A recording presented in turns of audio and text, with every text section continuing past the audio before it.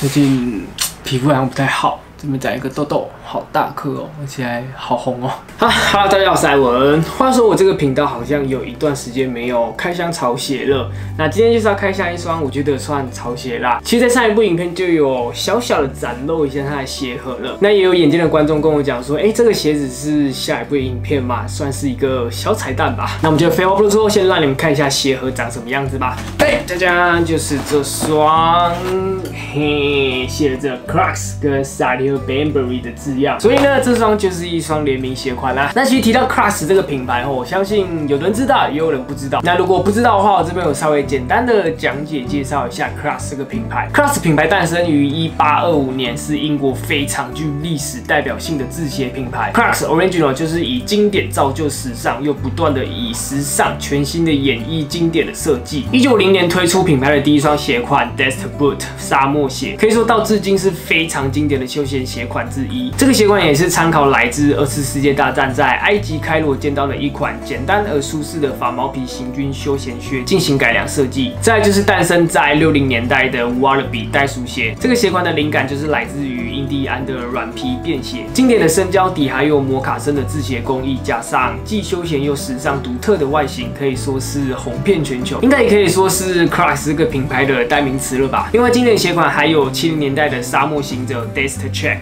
和八零年代的 Ruger。其实说这么多，我相信你们应该都看过瓦勒比袋鼠鞋这个鞋款吧？这个鞋就是来自 Crocs 这个品牌的，至今这个鞋款还是非常非常的火红。好，那我们就来看一下这个鞋盒哦。整个鞋盒就是非常简单的素面纸鞋盒，那在前方就印着 Crocs Original 跟 Sadio Bambury 的字样，然后侧面这边也有一个 Crocs Original 的字样。大致上鞋盒就是这个样子啊，就是比较走一个简约风格。那鞋标的话就是这个样子，写着 Ruger Capsule。尺寸的话就是是 US 八，我的尺码。好，那我们来看一下这个鞋款呗，打开就是这个鞋款，我先拿出来。好，就是这双鞋款啦。那如果眼尖的观众应该可以看得出来，这双鞋就是我刚刚有提到的 Cross 其中的一双经典鞋款 Luger 去改良设计的。Luger 的鞋款是诞生在八零年代。其实仔细看 Luger 身上是带有袋鼠鞋 Wallaby 的影子，因为这双鞋就是由 Wallaby 延伸出来更绅士、更正式的一个外形。其实两双鞋款看下来啊，如果说 Wallaby 它是带有正式休闲的风格，那 Luger 的话，我觉得它是更有绅士成熟的外形。虽然如果这个鞋款在讨论度或者是火热程度上没有比 Wallaby 这个鞋款来的这么好，但其实 Ruger 这个鞋款在韩国哦，它也算是一个时尚的指标鞋款。据说 Ruger 这个鞋款啊，在韩国的销量就占据了整个 Crocs Original 八十 percent 的生意，这个是相当恐怖的哦。所以也造就 Ruger 这个鞋款到至今也还是一双潮流不败的鞋款。那这次联名系列是叫做 Mud Moss，一共推出了三个配色哦，其中一双就是我这双比较偏大地色系的颜色，那另外两双就是橘色还有浅绿色的颜色。其实我觉得这次联名的三个配色，我觉得都蛮好看的啦。那这次联名 Salia Bambury 它其实是有把这个鞋款做改良，稍微做一下调整，这样最明显的就是这个厚实非常厚实的中底。原本 Ruger 鞋款它的中底就是跟 Wallaby 的鞋款一样，就是比较薄一点的。那这次 Sadio Bambury 就是把这双鞋改的非常的厚实啊，也是因为这样的改良，所以让整双鞋真的看起来是非常的有分量感。然后再就是脚踝处这边，以往 Ruger 鞋款它都是采用单一的材质去包整个脚踝，那这次联名是采用麂皮去混这种棉质的布料，所以也抛开以往比较正式成熟的味道，剩下就是保有 Luga 原有的设计，就是鞋侧这个鞋带，还有鞋面这个缝线是缝到。这边而已。那整双鞋的设计就是使用大量的麂皮，那在这边它是采用比较长一点的绒毛材质，然后到鞋侧这边就是使用一般比较短毛的麂皮，还有鞋后跟这边。鞋前这边就有一个图像设计哦，这个图像设计是叫做 splash，就是有那种水飞溅上来、喷溅上来的感觉。因为 Sadio Bambury 他其实也是一个很爱户外运动的人，如果有在关注他的 IG，可以看到他很常在 po 一些爬山啊，或者是去做一些户外运动的影片，所以这个图像也是。经由 Sadio Bambury 他自己的一个亲身经历吧。当你在从事户外活动，然后经过水的时候，踩下去哦，你们应该有感觉啊，水会这样喷上来哦。所以这个图像就是来自这样子的意义。那图像其实有延伸到脚踝这个棉质的布料。不过我觉得脚踝这边的图像，我觉得它不像是那种水喷溅上来的感觉，我反而觉得它比较像是虎纹的感觉。然后鞋子的部分就是使用真皮的皮革材质，鞋垫就是采用软木塞，然后印有 Crocs Original 跟 Salio Bambury 的字样。还有这是。鞋带它是带有那种油蜡的感觉，就是表面它是有点油光感的。然后再来就是这双鞋哦，Class 非常经典哦，每双鞋都拥有了这个小标哦，那就是采用麂皮材质，那上面就是有 Class 跟 Sadio Bembury 的字样。最后就是这个非常夸张厚实的中底，这个中底真的很厚哦，我拿尺来量一下，这个中底它有四点。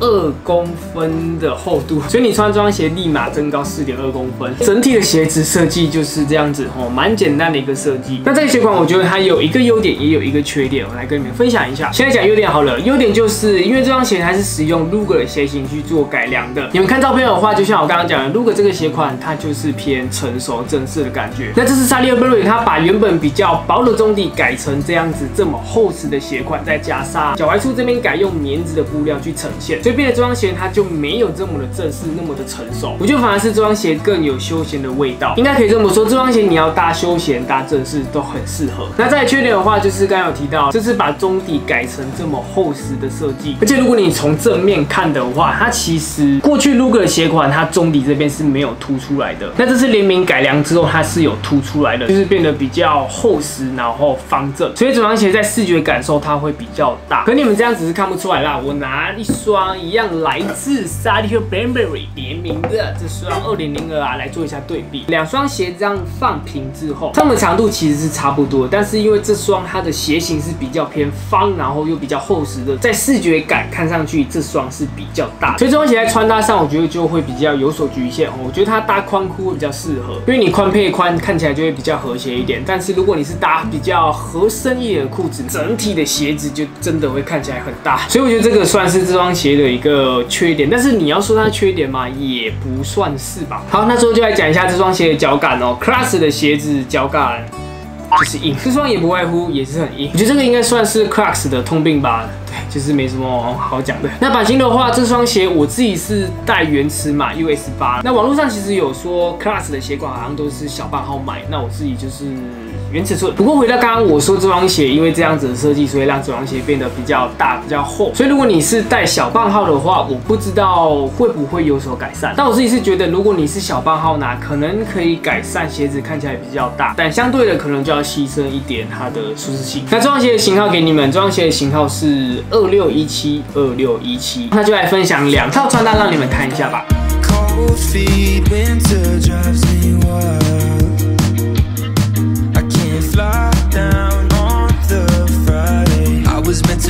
you at your mom's house, so I apologize?